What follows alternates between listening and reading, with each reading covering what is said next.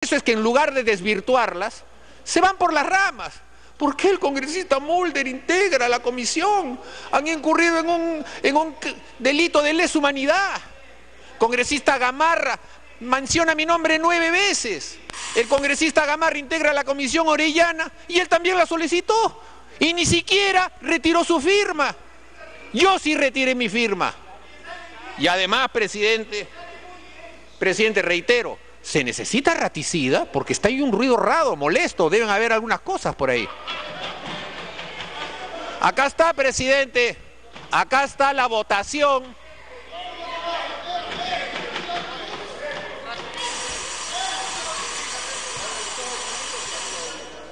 Continúe, con Usted dirá, presidente, sigo hablando.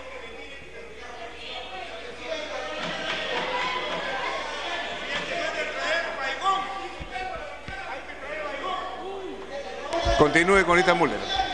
Bueno, pues presidente, yo no estoy aludiendo a ningún congresista, lo que estoy haciendo es escuchar ruidos. Y cuando se escucha ruidos puede ser pues que haya ratas, no sé, pero no se deban sentir aludidos. Congresistas, no vamos a poder avanzar en el debate en estos términos. No vamos a poder avanzar en el debate en estos términos. un, un vocero de ustedes un, vocero, señora Julia Tevez. Presidente. Presidente, hemos acordado en la Junta de Portavoces y hemos sido muy respetuosos, pero ya el congresista Mulder se está excediendo y se está extralimitando de los adjetivos permanentes y recurrentes, primero contra el gobierno y segundo contra nosotras.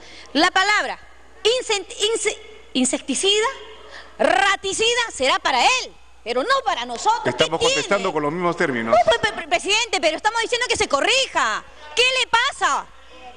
Yo entiendo que necesita antirrábicos, pero aquí, aquí es otra la realidad. Entonces yo quiero que se corrija primero para continuar con el debate, porque si no esto, señor presidente, va a ser todo un caos. Congresista Müller. Presidente, yo retiro, presidente,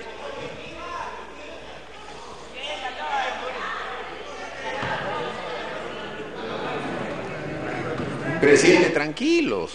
Yo lo único que estoy haciendo es repetir los mismos epítetos que mi partido ha recibido por parte de los congresistas que hacen uso de la palabra. Exactamente igual. Y hoy día en la mañana, hoy día en la mañana un sujeto que no tiene la valentía de venir acá dijo más todavía sobre mi persona. Así que tranquilitos nomás, tranquilitos. Yo retiro cualquier ofensa.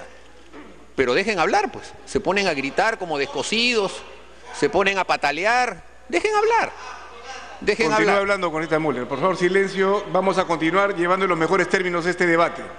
Corita Müller. Ahora bien, presidente, reitero, entonces, el lloriqueo, el pataleo por la presencia del congresista Mulder fue desvirtuada pues por el Poder Judicial.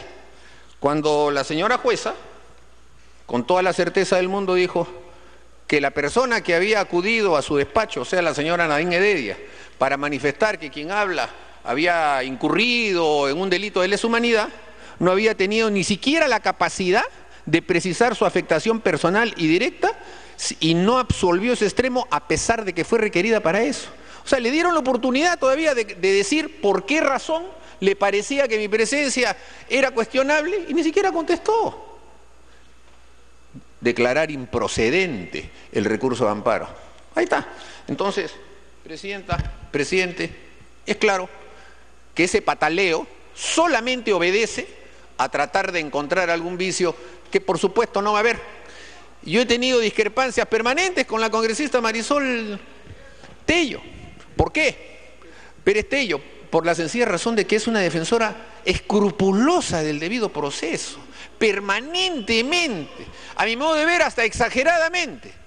Pero el debido proceso era lo que llevaba a que una persona fuese citada primero para que expusiese sus puntos de vista y si no satisfacían, entonces se tenía un, todo un debate, pasaba a condición de investigada y nuevamente se le citaba a la persona. Y es decir, se iba cumpliendo una serie de normas del debido proceso que aquí se ha alegado. Pero yo he esperado que hable el congresista Yatas para señalar que cuando él presidió la Comisión de Constitución, él hizo aprobar un informe para que el debido proceso no se opere en el Congreso de la República. ¿Con qué derecho?